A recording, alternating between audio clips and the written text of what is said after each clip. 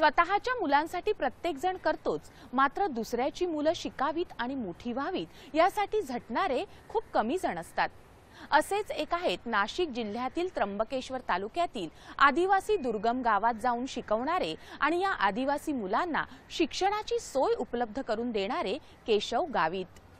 त्यांच्या या कामाची दखल घेत गिव या सामाजिक संस्थेनं हे गाव दत्तक घेतलं. पाहूया या गावाच्या परिवर्तनाची कहाणी.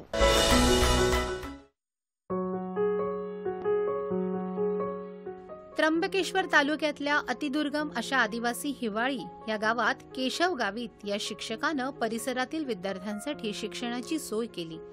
त्यांच्या कामानं प्रभावित होऊन गिव या संस्थेनं हे गाव दत्तक घेतलं. आदिवासी पाड्यांमध्ये रोजगार नसल्यामुळे तिथल्या मुलांसाठी शिक्षण घेणं कठीण झालं होतं. शिक्षणापासून वंचित असलेल्या ह्या मुलांच्या मदतीसाठी ठाणापाडा इथल्या केशव गावित हा उच्च शिक्षित तरुण जिल्हा परिषदेच्या शाळेत रुजू झाला. रात्रंदिवस मुलांच्या शिक्षणावर मेहनत घेतली. आता शाळेची मुलं अनेक उपक्रमांमध्ये यश मिळवत आहेत आणि त्यामुळे हिवाळी शाळेचं नाव सर्वदूर पसरत आहे.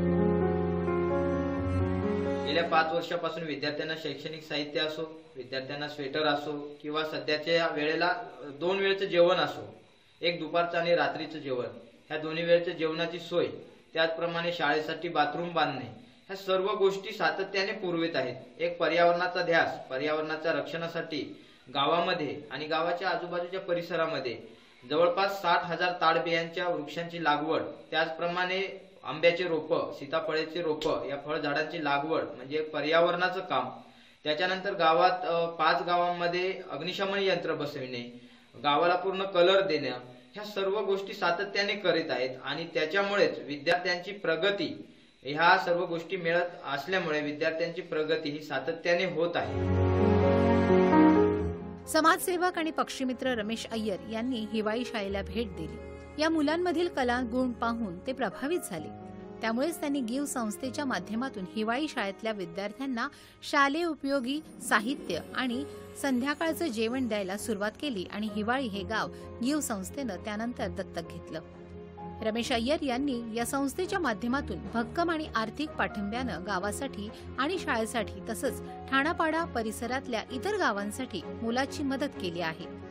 गरजू व्यक्तींना कपडे आणि ब्लँकेटचं वाटप शाळेतल्या विद्यार्थ्यांना गणवेश सायकल वाटप तसंच चाळीस हजार ताड बियांची लागवड त्यांनी केली आहे.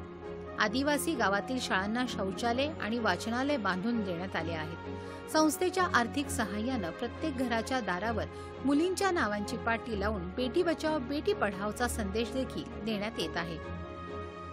गिवचा अर्थ आहे get involved in village empowerment. त्या म्हणजे ग्रामीण भागाला आपण मजबूत करूया. हे करता करता आम्ही एक हिवाली म्हणून गावाला दत्तक घेतलो. कारण आम्हाला तेव्हा सस्टेनेबल डेव्हलपमेंटच्या एक मॉडेल तयार करत करायचं होतं महाराष्ट्रामध्ये. आणि त्याच्यात आम्ही आज खूप आमच्या सक्सेस झालेली आहे. कारण हिवाली गावाला खूप लोक येतात भेट द्यायला आणि तिकडे आम्ही एकदम चांगला चेंज करून ठेवलो आहे. आणि हे करता करता आम्ही आता खूप वाचनालय उघडणार आहे.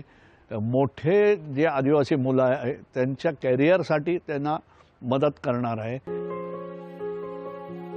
प्रत्येक घराच्या भिंतीवर वेगवेगळे संदेश देणारी चित्र तसंच वारली पेंटिंगच्या माध्यमातून सर्व घरांचं सुशोभीकरण करण्यात आलं आहे. या गावामध्ये ठिकठिकाणी कचरा कुंड्या ठेवण्यात आल्या असून जमा होणारा कचरा खड्ड्यात टाकून त्यापासून कंपोस्ट खत तयार करण्यात येत आहे.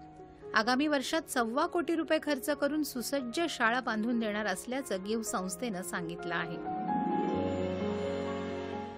भगवान पगारे दूरदर्शन बातम्यांसाठी नाशिक.